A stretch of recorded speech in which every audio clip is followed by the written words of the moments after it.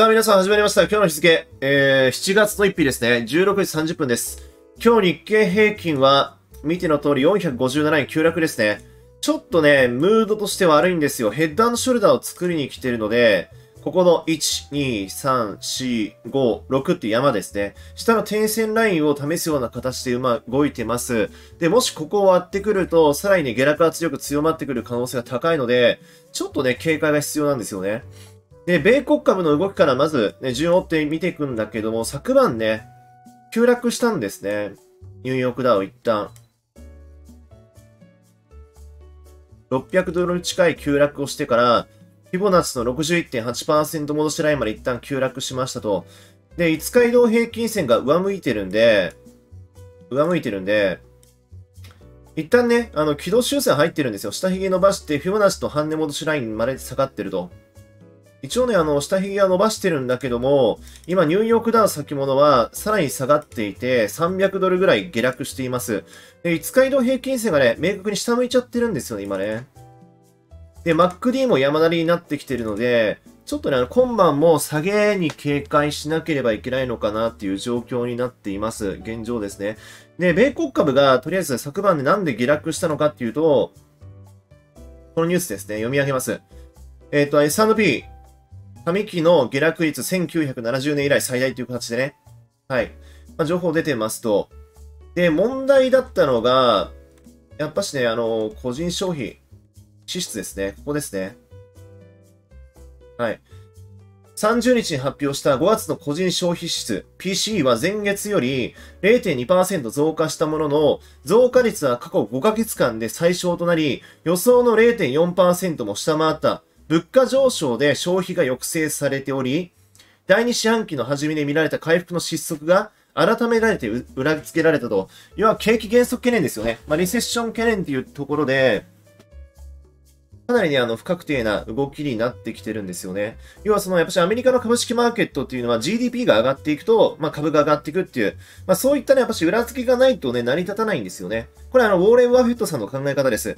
あの、株式の上昇イコール GDP、まあ成長率の増加っていうところ、これ比例関係にあるっていうふうにね、要は論理だってあの方はやってらっしゃるんで、世界最強の、まあ最高の投資家がですね、なので、やっぱし、景気減速懸念っていうのは、やっぱし株式マーケットにはネガティブに働くわけですよ。周りもあってやっぱしね、あの、上場している企業の業績、そこも失速する可能性もあるので、そこあたりはね、やっぱし注意して見ておかなければいけないポイントなのかなと。で、そういった状況を受けて、今下落してるっていう形ですよね。米国間マーケットは。で、S&P500 もそう、0.88%下落中。で、えっ、ー、と、昨晩ですね。ただし、先物に関しては、ここも、まあ、だいたい0.8%相当下がってるのかな、今現状。はい。ボリンジャーバンドの中央線、この赤のラインと25日移動平均線ライン、この黄色のラインですね。まあ、ここが上値の抵抗ラインとして、またね、あの、失速しているような形になっています。ここもまだですね、ボトムをつけてるような動き方ではないですよね。先物の動きを見ると。MacD は一応ゴールデンクロス、上昇トレンド形成してるんですけど、山なりになっている。で、特に市場の不安心にあらず、ビックス指数が上昇基調にあって、これね、あの、恐怖指数と言われるものなんですけど、機関投資家がヘッジでオプションですね。それをかければかけるほど、このビックス指数は上がる。逆に株式マーケットは下がる。要は逆相関の反比例の関係なんですね、ここはね。で、ここは今29.55まで上がっていて、5日移動平均線も切り上がっている。で、特に MacD のゴールデンクロス形成、これが上昇トレンドを形成してくると、スーってね、あの、ビックス指数上がって株式マーケットがもう一段ね、下押し圧力入ってくる可能性があるので、そこはね、やっぱしあの、注意しておかなければいけないのかなって気がします。はい。で、僕に関してはね、もう昨日皆さんにね、お伝えしている、まあ、おとといから皆さんお伝えしている通り、もう手締まってます。はい、手締まってます。それに関してもツイッターでね、昨日も皆さんに、あの、言ってますよっていうことをね、ちょっとアピールというか、まあ、言わせてもらってたんですけど、はい。もうあの、6月の29日のツイッターですね。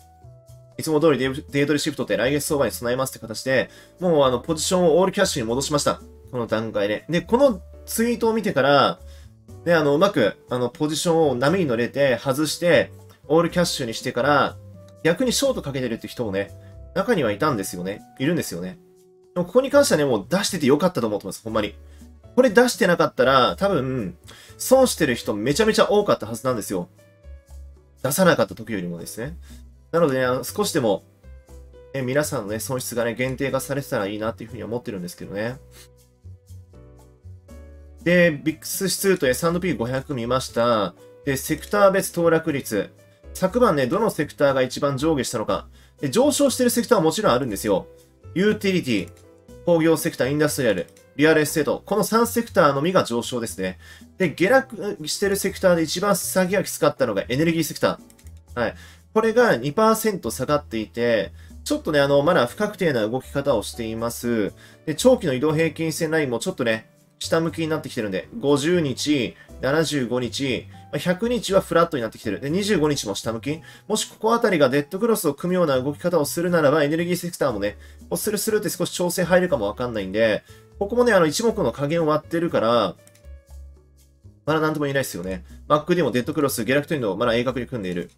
で、下落2位はコミュニケーションサービスセクター。で、3位がこれですね、一般消費財にインフォメーションテクノロジーセクター。まあ、ここあたりのセクターがこぞって軟調だと。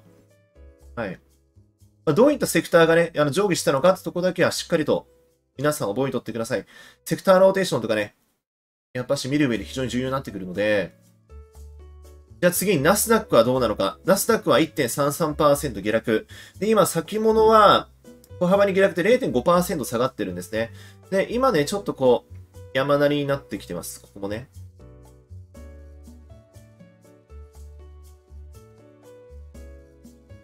難しいですよね。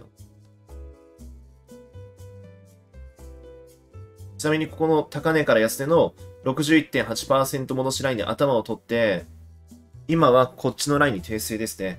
この61.8%戻しライン止まってるんですよ。で、もしここのラインを明確に下回って5日移動平均線もこのラインとクロスするような動き方をするならば、下向き方向にトレンドが切り替わってくる可能性も一応まだ考えられはする。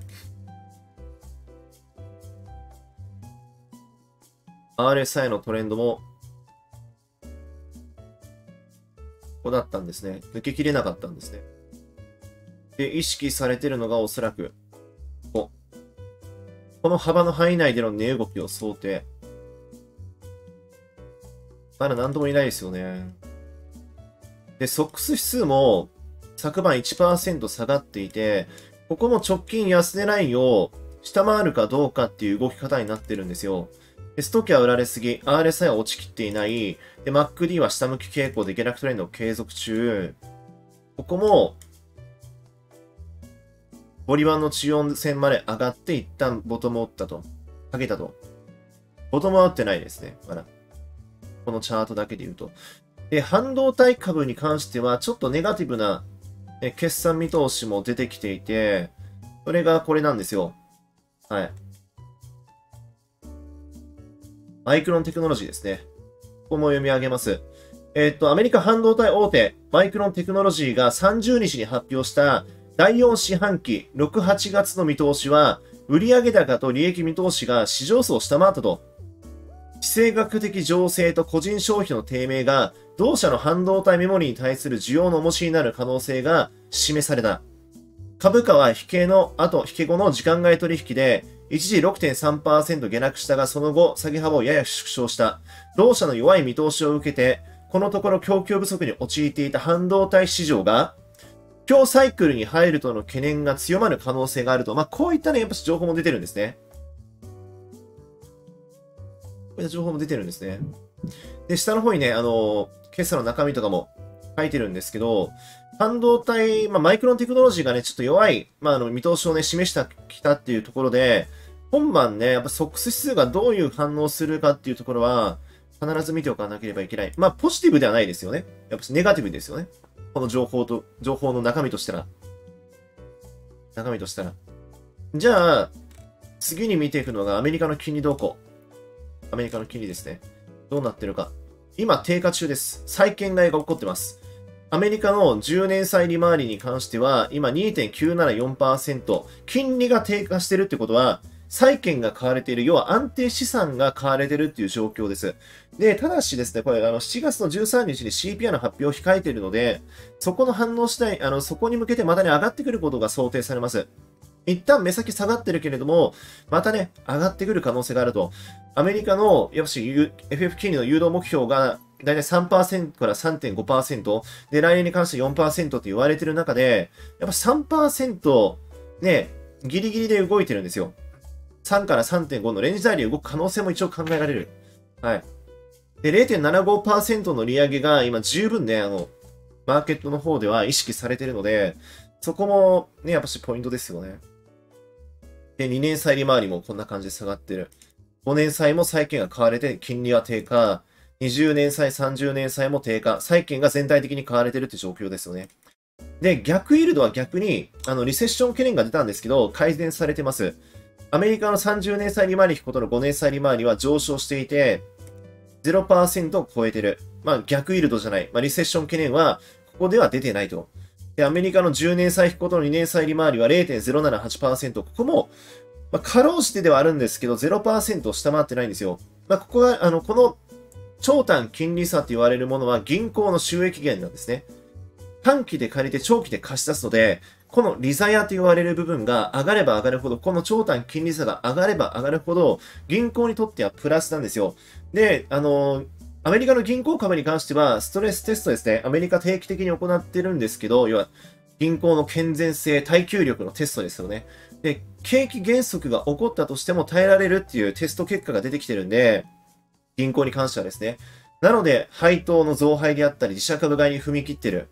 アメリカのね、銀行株ってあるんですよ。多いんですよ。だけれども、やっぱしここあたりがね、上がってくれないと、銀行株にとってはね、あの、やっぱし、ポジティブではなくてネガティブなんですよね。そういったところもあります。で、FF レートは、12月もな12.92回なんで13回、3.25%が今織り込まれている。まあ、こういった状況ですね。はい。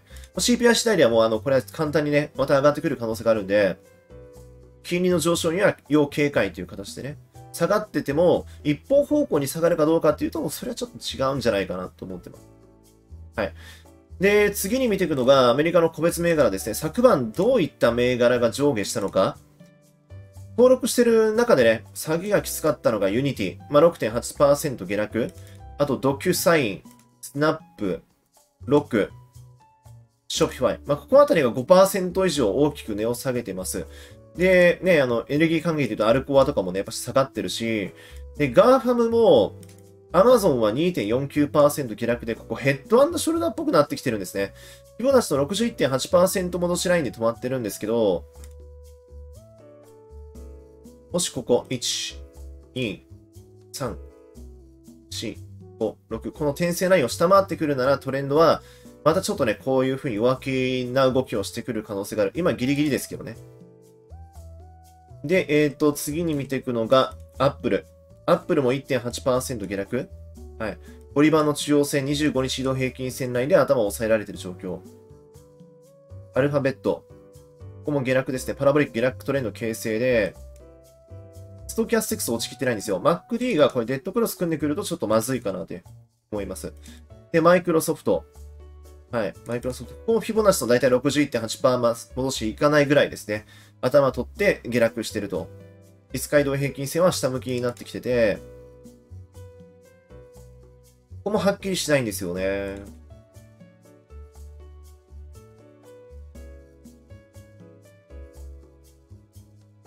ですね。弱いんですよね、ここあたりがね。で、もちろん中には上がってるセクターがね、まあ、あるんですよ。ソーラーエッジであったりとか、ファーストソーラー。まあ、エネルギー関連ですね、これ。はい、太陽光エネルギー関連。まあ、ここあたりはやっぱその、ね、強いですよね。あと、ロッキード・マーチンであったり、ファイザーであったりとか、トラベラーズ。ここあたりも上がってるかな。だけども、トラベラーズとかも上がってるんですけど、ボーイングとかデルデルタエアラインとかは下がってるんですよね。ボーイング1.25%下落。まあ、ここはね、まだね、マシなんだけども、えっ、ー、と、デルタエアライン。こっちは下掘ってきてるんですよ。航空関連でもね、やっぱしあの強弱出てるんですよね。あと NVIDIA。ここもヘッドショルダー形成しそうな動き方になっていて、このヘッドショルダーラインを下回ってくると、下にスルーってね、ちょっとプッシュダウンする可能性がある。AMD、1.95%下落。ここも直近の安値ライン終わってきてるので、ストッキャ、MacD ともに何とも言えない形で RSI 落ちきっていない。まだここも完璧にここがそこかどうかっていうのがわかんない状態です。で、ここでちょっとね、あの、週足の確認に移るんですけど、これニューヨークダウンの週足ですね。変な抵抗ラインが目先存在してないデッドクロスが来ないかどうかなんですよ。ニューヨークダウンは、まあ、気になるのは、あの、ここですね。50週と75週のデッドクロス形成か、25週と100週のデッドクロス形成。ただ、ここに関してはまだ余裕がある。S&P500。ここまだ大丈夫そうですね。ナスダック。ここなんですね、問題がね。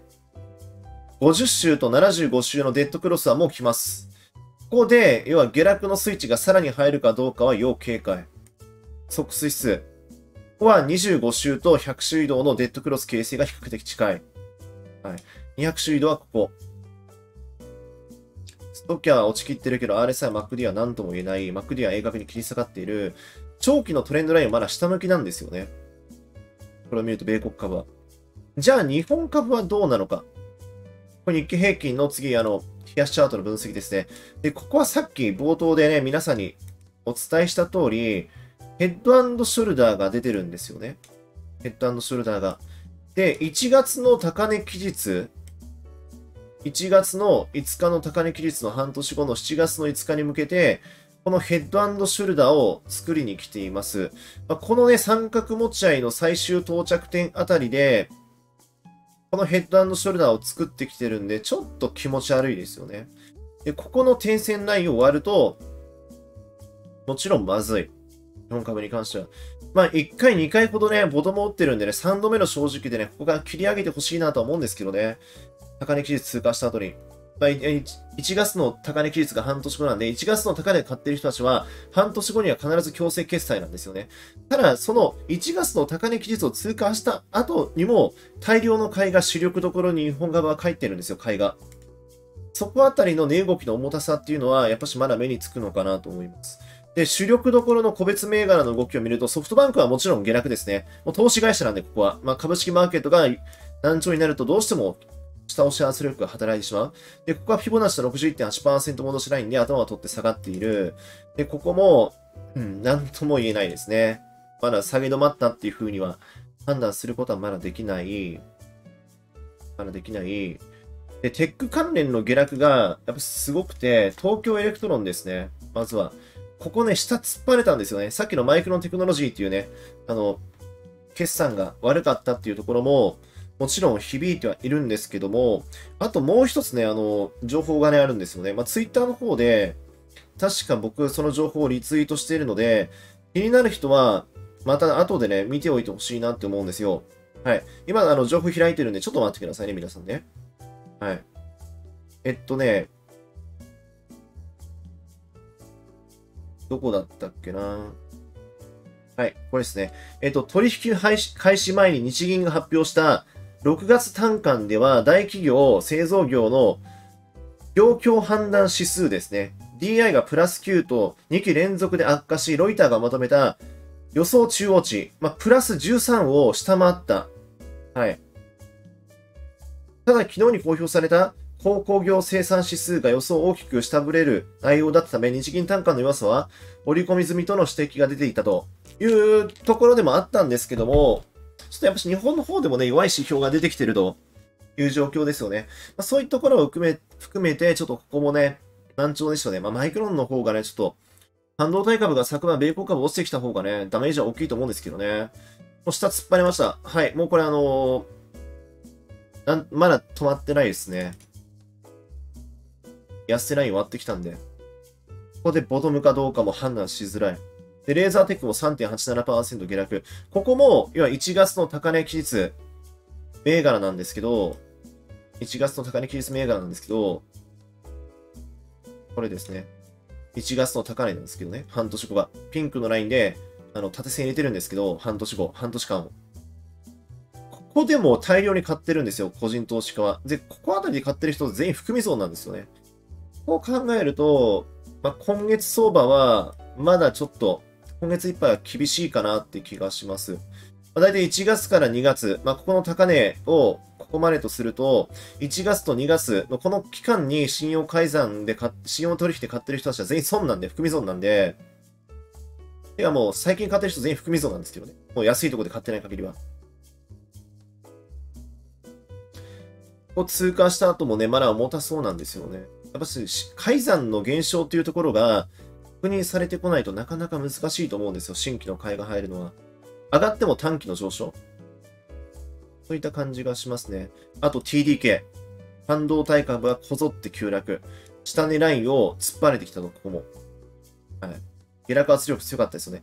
急落は3日待てです。急落した銘柄は、だいたい3日目、4日目ぐらいに短期的なボトムを打って、5日移動平均線上までの軌道修正が入る可能性、確率が高いです。で、急落した銘柄は焦って買ってしまうと、子孫じる確率の方が、僕の体感的なところで言うと、2、3割、あの、勝って2、3割なんですよ。はい。買って下がって買って、すぐに切り返していくっていう確率ももちろんあるんですけど、それね、それ、あの、数ある銘柄見てきたんですけど、もう2割とか3割とかもうほとんど、あないですね。もう大体大半は、やっぱし連続下落してくるんですね。急落して大陰線引いてる。もしくは窓開けて急落した銘柄に関しては。なので、あの、やっぱここあたりも急落は3日待てっていうのを意識せざるを得ないかなと。で、東京エレクトロンも急落。これ急落、昨日もしてるんですけど、1日2日目なんで、まあ、来週どうなるかですよね。で、伝送であったりとか、村田とか、まあ、ここあたりも、村田も下突っ込んできてますからね。で、自動車関連も良かったんですね。はい、日産自動車も3.77%下落、スバルも、まあ、あの、ここやっぱしデッドクロス形成して下にストーンとしたダブルトップのネックラインを割って、下落幅、下落速度が加速しましたよね。で、トヨタに関しても、直近この三角持ち合いを形成していて、たんですけど、ここのラインを下回ってきてるんですよ。三角持ち合い下にブレイクしたんやったら、ちょっと手出しにくいかなっていう気はしますよね。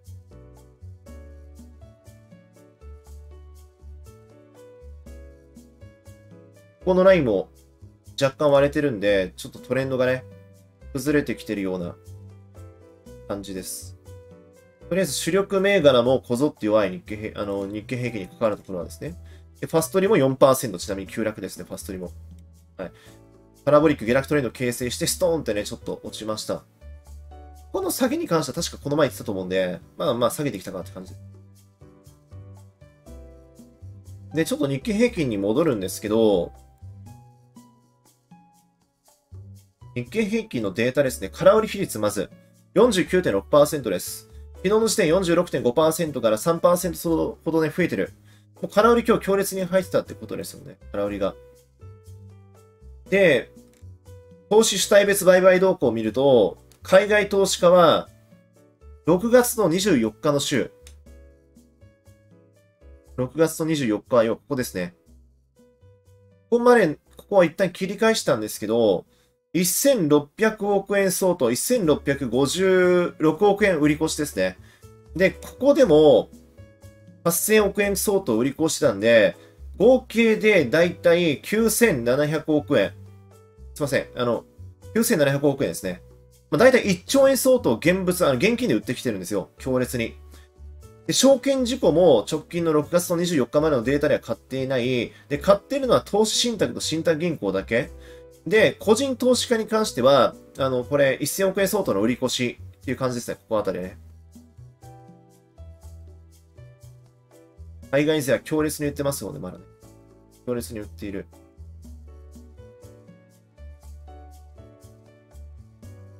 信用倍率は4.05倍です、ちなみに。4.05倍。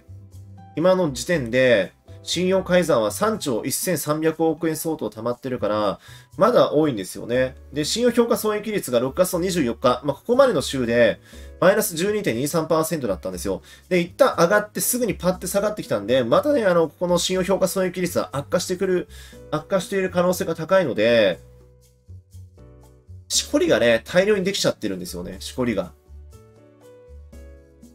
きついですよね、信用の改ざんが溜まってるっていうのは。で、ドル円の動きを見るんですけど、ここはちょっとね、あの、135円の前半まで円高が進んでます。なぜかというと、アメリカの長期金利が下がったからですね。アメリカの長期金利が。はい。で、ここで見てほしいのが、日米金利差ですね。これがアメリカの10年債利回りことの、日本の10年債利回りのチャートになるんですけど、ここは下がってきてるんですよ。で、こことドル円はもう連動してるので、ほぼほぼ100%に近いぐらいですね。このチャート見てもらったらわかると思うんですけど、連動してるので、やっぱしこのその長短金利差が下がってくると円高にブレやすいんですよ。ブレやすいんですけど、長短金利差が、今5日移動平均線と25日移動平均線がデッドクロス組みそうなので、ちょっとね、もうちょっとね、これ、下がってくることが想定される、このチャートから言うと。だけど、またすぐに戻ってくると思う。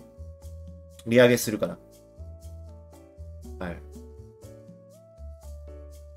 目先は円高ですよ。とりあえず。若干ね。円高って言ったらなんかおかしいですけどね。もう135円台乗ってる時点で円安なんですけど、まあ、若干円高方向にブレたっていうぐらいに、あの、ちょっと修正します。発言を。はい。で、ドルベースの日経平均。これ日経平均を割ることのドル円ですね。海外投資家に見ている為替、ドル円の変動リスクを加味した日経平均はこれです。で、これ、引け安値なんですよ。引け安値なんですよ。下落圧力はまだ強いですよね。このチャートを見ると。だいたいやっぱし下髭伸ばさないといけ、あの、してくれた方がありがたいんだけど、引けにかけて今の現時点ではもうこれ、安値で止まってるんで、こういった時ってね、やっぱしこういったパターンね、取りやすいんですよね。ここも引き安値、引き安値で連続で引き安値で、どんどんどんどん下がっていったんですよね。売り圧力が強いってことなんですよ。要はその、下髭伸ばしてないっていうことは、下での買い圧力がね、買い戻しの圧力が、要はなかったと、まあ、少なかったということを意味してるんで、ドルベースの日経平均は下落圧力強いんですよね。で、NS 倍率。これ日経平均割ることの S&P500 ですね。上昇すると日経平均有利で下落すると S&P500。まあ、米国株有利という形なんですけど、ここは今ちょっとらなくなってきてる。週足はこんな感じで、5週は切り上げてるんですけどね。ストキは金付きなんですよね。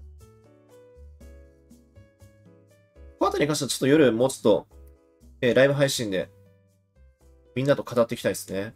あと皆さんよかったらね、あの、今日のマーケットの感想ですね。あの、今日のマーケットの動きを見てどういった風に思ったのかっていうところを、よかったらいつも通りコメント欄に入れてもらえると嬉しいです。はい。あの、それを踏まえてまた夜のライブ配信僕も望みたいと思うので、皆さんの客観的な意見もぜひください。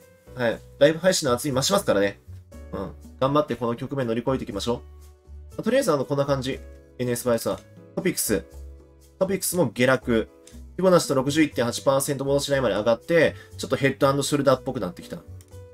ストーキは落ちてない RSI 切り下がり、MacD はデッドクロス形成、下落トレンド形成中です。トレンドは下向きですよね。ここも三角持ち合いを、ね、一旦割って抜けることできなくてまた下回っちゃってきてるから、ここのラインをこっちにも修正しましょうか。ここのラインとここの点線ラインを割ってくるとまずいです。はい。で、マザーズ。2.31%下落。もちろんグロース株なんで、ここも2%以上急落してますよね。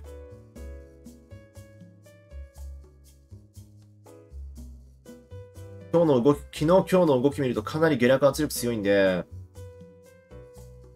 1月の高値率が一応7月の5日なんですよ。通過した後どうかですよね。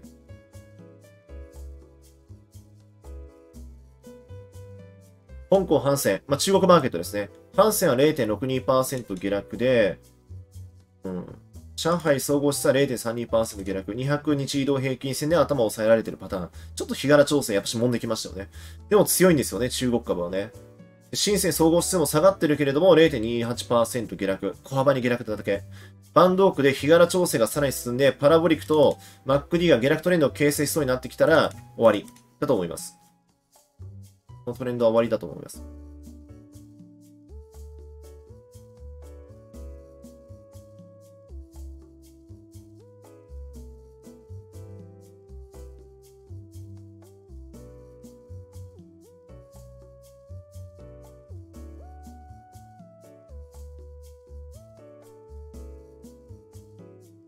このライン弾かれてるんですよね。と下げていくことを警戒しましょうか。加熱気味なんでね、一応。ストキャスティックス機能不全なんで。えー、っと、メンバー限定ライブのシャープ66を参考で、メンバーさんお願いします。はい。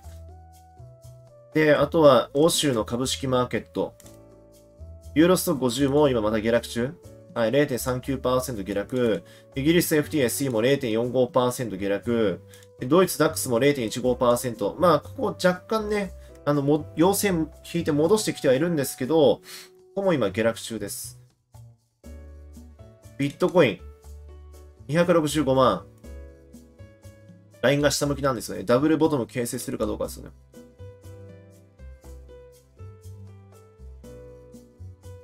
微妙。コモディティ。WTI 原油はちなみに105ドルですね。一旦フィボナッチの61.8%戻しラインまで上がって下がってきてると。で、ボリバンの中央線25日移動平均線ラインのここのラインを超えることなく下がってきたんで、ちょっとヘッドショルダーの形がね、見えてきましたよね。下がってほしいですけどね。違う。